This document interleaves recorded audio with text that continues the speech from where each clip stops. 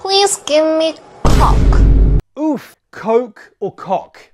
Yeah, this one can be very embarrassing if you don't use correct pronunciation. So, how do you pronounce them correctly? This word uses the O sound. This word uses an O sound. Notice there is only one sound for this. O. O.